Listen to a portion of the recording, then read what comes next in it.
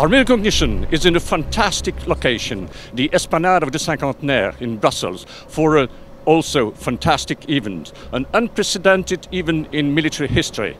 It's an actual field training exercise decided by Major General Marc Thys, commander of the land component of the Belgian army.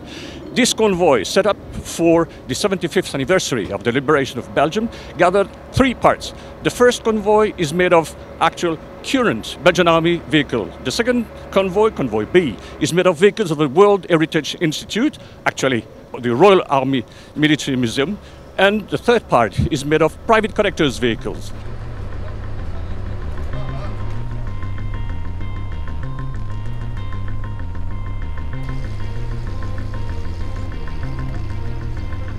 Uh, good morning, ladies and gentlemen. I'm uh, Major Hoster and I'm the military commander of the Liberation Column North. This week uh, we are trying to get once again uh, over the historical route that the, in the time in 44 the liberations, uh, the liberation uh, allied troops have done to, in order to get Belgium free.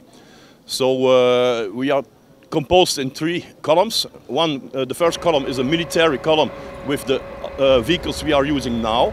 And then we have the, the second and the third column with uh, historical vehicles uh, like they had have used them in uh, World War II. Why we did that, it, for, for, us, for the staff of the Motorized Brigade and myself and my guys, it's a good exercise in staff planning, in staff planning for organizing movements, organizing uh, deployments, organizing as a matter of fact, everything in order to get a unit, a big unit, three columns, from point A to point B. In the future, in uh, January of 2020, we will do the same thing, uh, starting from Bastogne to remember the liberation of Bastogne and, and further on to Luxembourg.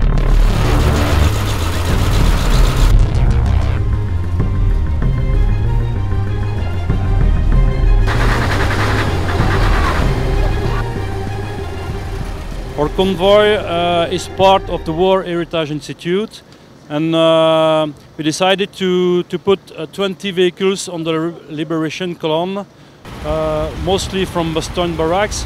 And uh, the focus on the vehicles is the one of the Brigade Piron, such as that one. Brigade Piron was built in the UK with Belgian soldiers. It was embedded in the UK army and did participate to the debarkment in Normandy and did uh, free a part of nord northern France and did participate to the liberation of Brussels. Uh, and uh, the Brigade Piron was uh, a part of the convoy who did liberate Brussels and that's why uh, we have uh, the vehicles of that brigade here to commemorate the liberation of Belgium.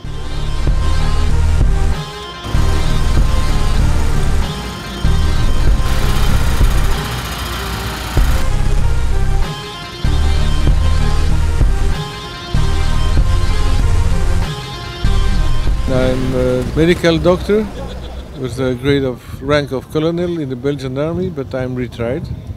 And I'm uh, the second in command in Squadron B of this column, which tells three squadrons. A with uh, modern military vehicles, B with vehicles belonging to the military museum, the army museum of Brussels, and C are vehicles belonging to private uh, civilians that are taking part of the commemoration of the liberation of Belgium.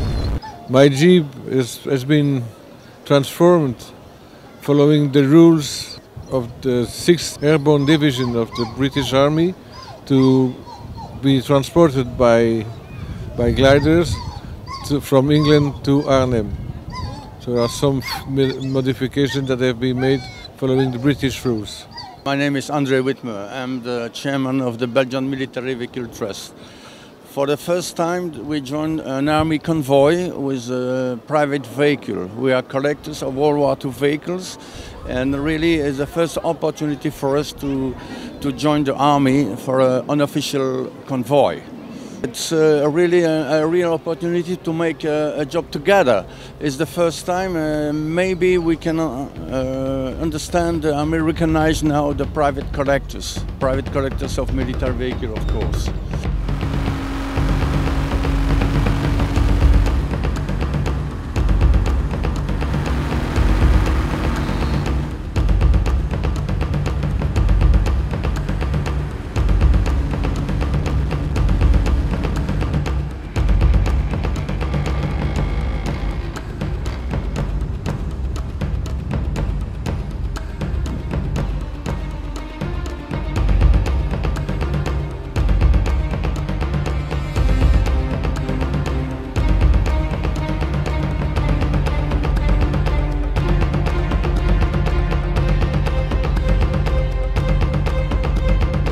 Driving uh, a big vehicle. It's a it's an honor and an uh, excitement to be here today. Uh, like the Allies did uh, 75 years ago, uh, we're now driving through Belgium. Uh, it's not just driving a big vehicle of 20 tons. of course, the vehicles in World War II they were much bigger and heavier, but it's um, it's an excitement of course, yes, yes. We're trying to uh, connect the past with the present, of course, and uh, that's uh, a really strong connection, I think.